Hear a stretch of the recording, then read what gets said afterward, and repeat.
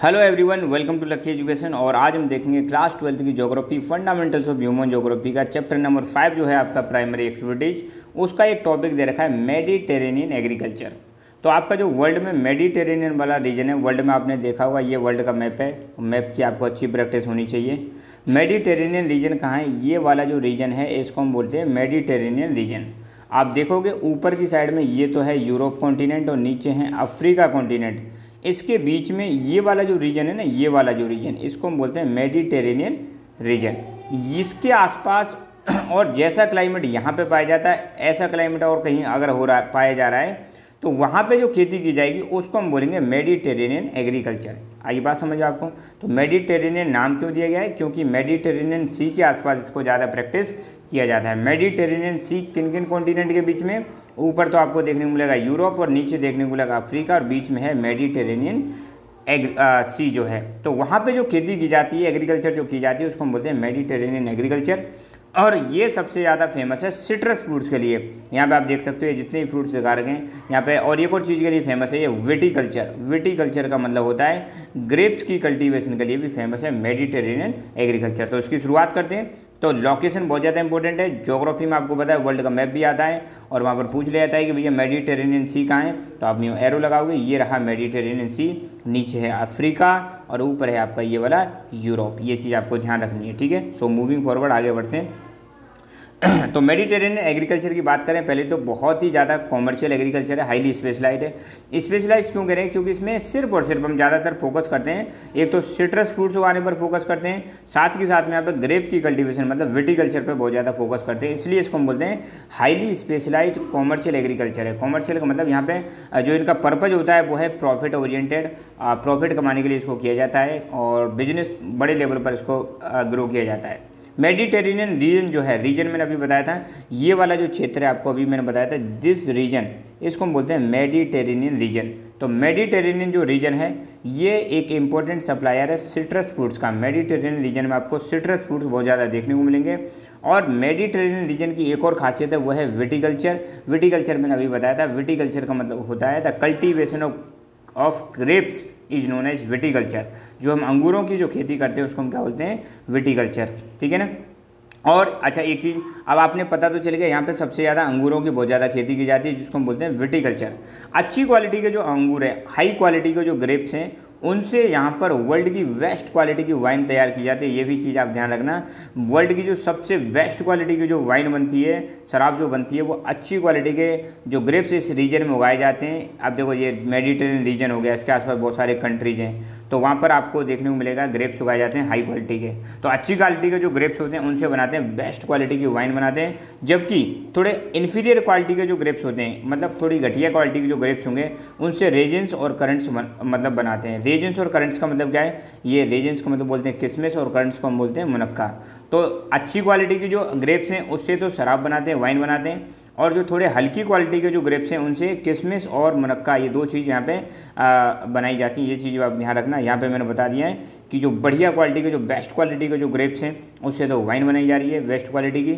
और ये कहाँ पर ग्रो किए जाते हैं? आसपास के कंट्रीज़ में ग्रो किए जाते हैं ग्रो किए जाते हैं। और साथ के साथ में जो इन्फीरियर क्वालिटी के जो ग्रेप्स हैं, उनको सुखाकर किशमिश और मुनक्का रेजिन्स को मतलब किशमिश और करंट्स का मतलब है मुनक्का, इनको मतलब बनाया जाता है। ये चीज़ भी आप ध्यान रखना है। इस रीजन में और भी क्या ग्रो किया जाता है? ऑलिव्स एंड फिक्स ऑलिव्स और फिक्स की भी यहाँ पे खेती की जाती है ये भी चीज़ इंपॉर्टेंट है। ये आप देख सकते हो ये अंगूर हैं यहाँ पे लगे हुए हैं पूरे के पूरे पेड़ पर लगे हुए हैं। और देख सकते हो ये ब्लैक वाले अंगूर है बहुत मतलब ये ट्री दिखा रखे हैं यहाँ पे आपको पता भी होना चाहिए आ, कैसे लगते हैं। एटलीस्ट आप पिक्चर देखने से चीज़ें ज़्यादा क्लियर हो जाती हैं।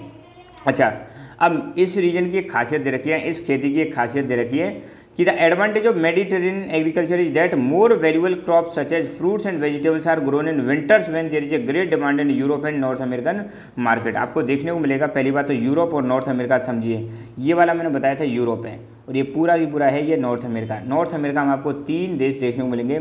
एक है मैक्सिको एक है यूनाइटेड स्टेट्स ऑफ़ अमेरिका और एक है कनाडा इन पूरे को मिलाकर हम तीनों बोलते हैं नॉर्थ अमेरिका और इसको बोलते हैं यूरोप तो ये कह रहे हैं मेडिटेरेनियन एग्रीकल्चर को हम कब ग्रो करते हैं? मेनली यहाँ पर ये विंटर सीज़न में ग्रो की जाती है और इस समय पर यहाँ पर फ्रूट्स एंड वेजिटेबल्स दो चीज़ों पर ज़्यादा फोकस रहता है और विंटर सीज़न में यूरोप में और अमेरिका में नॉर्थ अमेरिकन मार्केट में इन चीज़ों की बहुत ज़्यादा डिमांड होती है फ्रूट्स की और वेजिटेबल्स की ज़्यादा डिमांड होती है। तो इसका ये एक और फ़ायदा मिल जाता है कि जिस समय पर डिमांड होती है, उसी समय पर इसको मतलब ग्रो किया जाता है। तो इसका मतलब ये प्रॉफिटेबल एग्रीकल्चर है। मतलब जिस टाइम पर इसको ग्रो किया जाता है, जिस टाइम पर हार्वेस्टिंग की जा रही है, उसी टाइम पर आपको देखने को मिलेगा यूरोप के मार्केट में और अमेरिका के मार्केट में बहुत ज़्यादा डिमांड रहती है किसकी मेडिटेरियन जो फ़सल जहाँ पे उगाई जा रही है, जैसे मतलब खेती की जा रही है, जिसमें स्पेशली ग्रेप्स उगाए जा रहे हैं वेजिटेबल्स उगाई जा रही हैं फ्रूट्स उगाए जा रहे हैं सिट्रस फ्रूट्स तो इनकी बहुत ज़्यादा डिमांड रहती है विंटर सीज़न में। तो अब हम देखेंगे कि मेडिटेरेनियन एग्रीकल्चर को कहाँ कहाँ पर और प्रैक्टिस किया जाता है। एक तो मेन रीजन कौन सा हो गया? मेन रीजन तो हो गया मेडिटेरेनियन सी। इसके अलावा सेम टाइप का अगर जहाँ पर क्लाइमेट मिलता है या इसी टाइप की खेती को और कहाँ कहाँ पर किया जाता है। तो एक तो कह रहे हैं either side of Mediterranean sea in Europe Mediterranean sea के दोनों साइड में यूरोप में ग्रो किया जाता है। North Africa from Tunisia to Atlantic coast. आपको देखने को मिलेगा, ये पूरा है अफ्रीका। अफ्रीका का ये वाला भाग हो जाएगा नॉर्थ अफ्रीका। तो नॉर्थ अफ्रीका में कंट्री आएगा ट्यूनिशिया। ट्यूनिशिया से अटलांटिक कोस्ट। अटलांटिक कोस्ट का मतलब क्या है? ये वाला पूरा की पूरा ओशन है, अटलांटिक ओशियन तो यहाँ पे जो कोस्ट आएगा, इसके आसपास उसको हम बोलते हैं अटलांटिक कोस्ट तो इस वाले रीजन में यहाँ से यहाँ तक, अफ्रीका में आप देखोगे, अफ्रीका में यहाँ से यहाँ तक आपको कौन सी खेती देखने को मिलेगी? मेडिटेरेनियन एग्रीकल्चर देखने को मिलेगी। सदर्न कैलिफ़ोर्निया, देखो ये पूरा हो गया यूएसए। यूएसए में इधर की साइड में कैलिफ़ोर्निया है तो कैलिफ़ोर्निया के साउथ वाले हिस्से में भी मेडिटेरेनियन एग्रीकल्चर को ग्रो किया जाता है। सेंट्रल चिली यहाँ पे आपको देखने को मिलेगी, चिली देखने को मिलेगी। तो चिली के बीच वाले हिस्से में ग्रो की जाती है। South west part of South Africa, या नीचे जो ये कंट्री दे रखा है, इसका नाम है साउथ अफ्रीका। तो साउथ अफ्रीका का साउथ वेस्ट वाले पार्ट में भी मेडिटेरेनियन एग्रीकल्चर को ग्रो किया जाता है। और south and south west part of Australia, ये वाला जो जगह है, इसको हम बोलते हैं ऑस्ट्रेलिया। तो ऑस्ट्रेलिया का एक तो साउथ वाला पार्ट और एक साउथ वेस्ट वाले पार्ट, इन दोनों पार्ट में मेडिटेरेनियन एग्रीकल्चर को ग्रो किया जाता है। देखो, ये तो हो गया कैनेडा। ठीक है? कनाडा के नीचे हो गया यूएसए और यूएसए के नीचे मैक्सिको ये तीनों के तीनों देश आते हैं आपके किसमें नॉर्थ अमेरिका में। तो यूएसए में इधर की साइड में जो रेड रेड पोर्शन है, इसको हम बोलते हैं कैलिफ़ोर्निया तो कैलिफ़ोर्निया में भी आपको देखने को मिलेगी साउथ की साइड में मेडिटेरेनियन एग्रीकल्चर को ग्लो किया जाता है। ये आपका जो मैप दे रखा है, ये है आपका साउथ साउथ अमेरिका का जो मैप है साउथ अमेरिका कॉन्टिनेंट है। तो साउथ अमेरिका में इधर कोने में आपको बिल्कुल यहाँ पे हल्की सी जो ये स्ट्रिप जो दिखाई दे रही है, ये जो कंट्री इसका नाम है चिली। तो चिली में भी आपको देखने को मिलेगा क्या ग्रो की जाती है। मेडिटेरेनियन एग्रीकल्चर ग्रो की जाती है। अफ्रीका का बिल्कुल साउथ वाला जो हिस्सा है, इसको हम बोलते हैं साउथ अफ्रीका ये साउथ अफ्रीका एक कंट्री है और अफ्रीका अपने आप में एक कॉन्टिनेंट है। तो साउथ अफ्रीका में भी आपको क्या देखने को मिलेगी? मेडिटेरेनियन एग्रीकल्चर देखने को मिलेगी। तो यहाँ पर हमने देखा मेडिटेरेनियन एग्रीकल्चर के बारे में ध्यान रखना बहुत इंपॉर्टेंट है। सबसे ज़्यादा इसमें सिट्रस फ्रूट्स को ग्रो किया जाता है और इसमें ऑलिव्स एंड फिक्स को भी ग्रो किया जाता है और विटीकल्चर के लिए बहुत ज़्यादा फ़ेमस है। ग्रेप्स की कल्टीवेशन की जाती है। अच्छी क्वालिटी के जो ग्रेप्स हैं, उनसे वर्ल्ड की बेस्ट क्वालिटी की वाइन बनाई जाती है।